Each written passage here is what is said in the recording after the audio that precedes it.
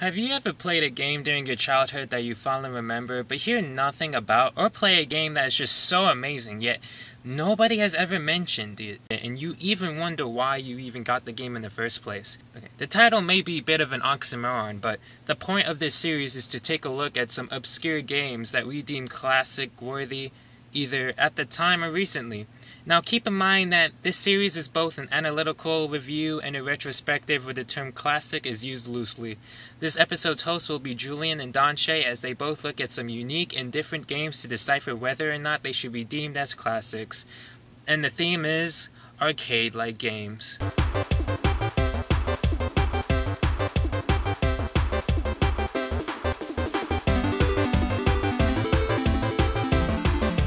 First game I want to take a look at is Geometry Wars Galaxy on the Wii. This game came out on November 20th, 2007 and is an arcade multi-directional shooter reminiscent of Asteroids. I remember playing this with my brother and having lots of fun. But we are here to reflect on the game itself to decide whether or not it holds up as an obscure classic. Wait, that's not a real thing. Let me go ahead and set it up and Okay, I've had enough. Uh, yeah, that was insane. How did I even play this? I feel like I'm going to have a seizure with so much going on. The particle effects are out of this world, and there's so much variety in the enemies. They all have their place and do different things to try to screw you up, like this black hole that just sucks everything up. My goodness, this game is mind-boggling. The soundtrack fits perfectly with that retro future nostalgic vibe. The gameplay is very simple with it being you know, a plain and simple arcade shooter. Yeah, what did you expect? Okay, fine. You are a click button who can turn and shoot things. These things that you shoot give you particle effects that even Tetris Effect must have taken note on. Uh, there is a help me button that gets rid of all the traffic on your screen. Get it out of here. A very simple game that gets complicated real quick. In the story, well, uh, the point of the game is to survive as long as possible to get these points that unlock other levels. The use of the Wii Remote makes me quake as I move by using the nunchuck and turn by pointing the sensor at the screen. Uh, just makes me shiver, makes me quake just thinking about it. I know that this game is a long-running game in the series, Oh wait. I know that this is a game in a long-running series, and although this is the only game I've played in this series, I can proudly say that this is a bona fide classic that needs more recognition as a highlight in the many arcade shooters for its effects and bombastic soundtrack. Maybe a short game, and I did play like less than 10% of it because of the effects on me, uh, it's definitely a unique take on this genre. It should be looked at beside classic arcade games like Galaga, Galaga, Galaga, Rebecca Nigga, uh, and Alien Invader. Yes, I know this is asking for a lot, but trust me, just please, please. When it comes to puzzle games, people usually think about the obvious games such as Tetris, Bejeweled, or Candy Crush but no one ever really thinks about the more obscure ones, such as Puzzle Bobble, uh, Magical Drop, or Puyo Puyo. Today, I like to focus on a more obscure puzzle game, and that game is Money Puzzle Exchanger.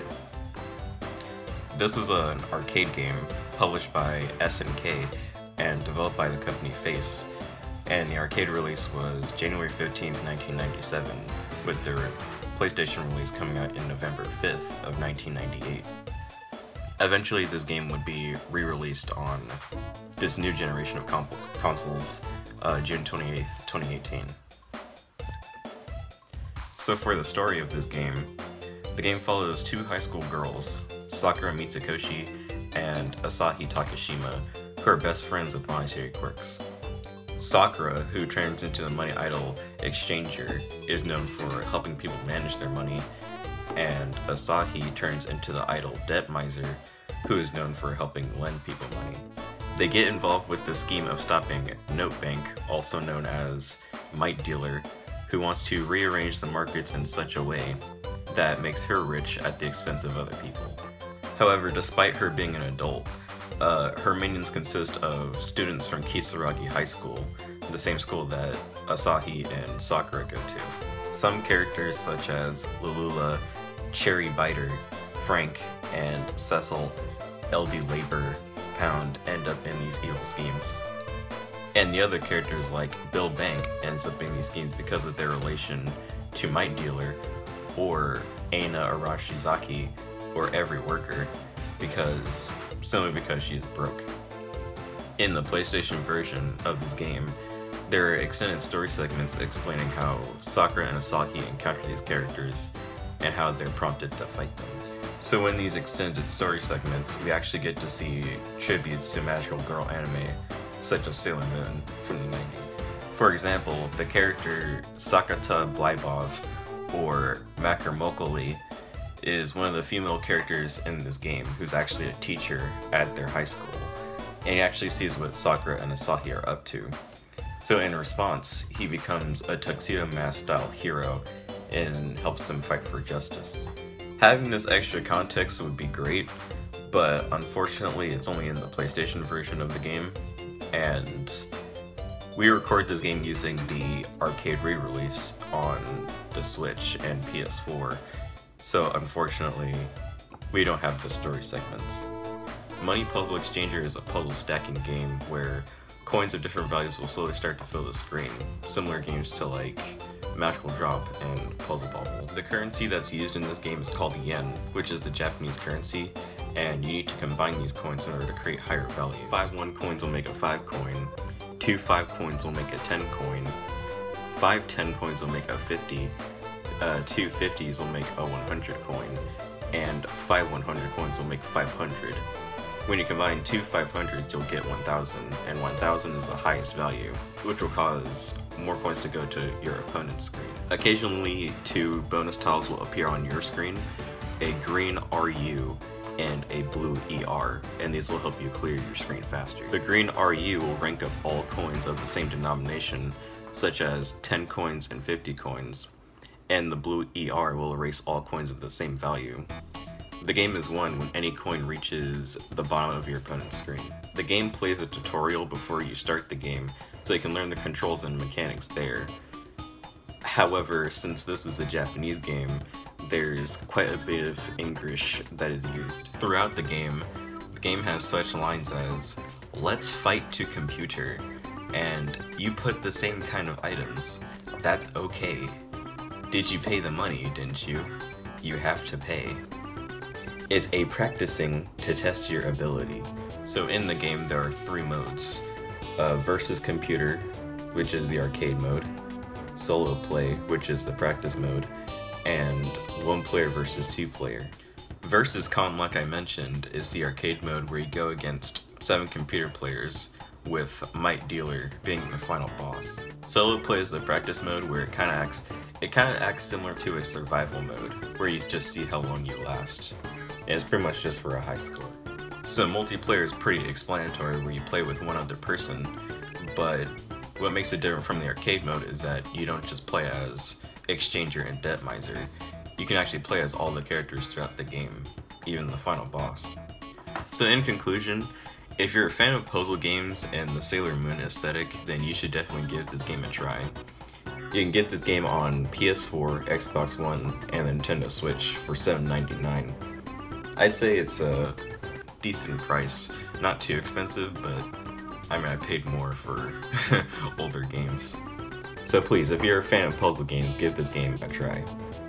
Well, I'm literally never going to get another chance to talk about this garbage ever again, so might as well do it now. Blastworks released on the Wii on June 10, 2008, and is a side-scrolling shooter reminiscent of Hong Kong 97. Okay, fine. It's more reminiscent of Scramble. Uh, let's get this over with and boot this mother up. Ooh, online capabilities. Too bad they ain't possible to look at now. Okay, so this is... Uh, boring. Wasn't I supposed to build something? Oh, whoa, whoa! Um, excuse me? Wait, that's what they meant by build, trade, destroy? Oh god, the gameplay is guess fine enough with you being able to take your enemy's weapons and use it against others, and everything is usable, including the boss's weapons. Wow, this game is really stupid, yet one of the most fun arcade shooters I've played in a while, so does it deserve to be an obscure classic? I'll answer that soon enough. But let's go ahead and keep talking about the other components in this game.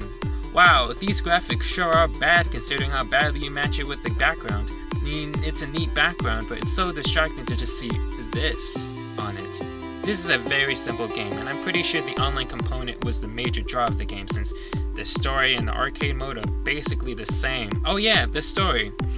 There is none. I can't even make it up since I didn't finish the campaign. I guess you could probably make your own story, just like you can make your own levels and designs, which were probably cool at the time. You know, now with games like Mario Maker, games like this mean nothing to me. But at its time, it was revolutionary and innovative. I think you know where this is going. This game doesn't really hold up, but the fact that it was deemed innovative by IGN, who are for sure trustworthy. Yeah, trustworthy. I mean, the gimmick, which doesn't change the fact that this is just a plain and simple side scroll, is a fine gimmick, but other than that, I don't see a reason for me to ever return to this game. I may feel indifferent to the soundtrack, but you want to know what makes this game a bona fide classic that should be put next to games like Persona 5 and Yakuza 0, even when none of these games have anything in common? Except for the fact that it takes place in Japan? Yeah, that's right. Remember the intro song that I played in the beginning? Yeah, it was from this game. And it's so good, I'm going to use it for the rest of the series. Yes, ladies and gentlemen, is what made that game worth revisiting. This song is the only reason why this game is an obscure classic. Goodbye, ladies and gentlemen. It's been quite a Welcome bit to the cringe- birthday since I've just sat at this desk. Welcome to the Cringe Olympics. topic. That's what I'm calling We haven't really done a proper SVU episode. What we're doing here today is we're going to look at the most Last cringiest videos of all time posted by all of Uh, us. I'm sorry. Let's just go time. ahead and get started So, with uh, we're the gonna topic do five of rounds of this, basically fighting five games. episodes. Yo, You guys will vote. okay. So one's old genre of cringiest? fighting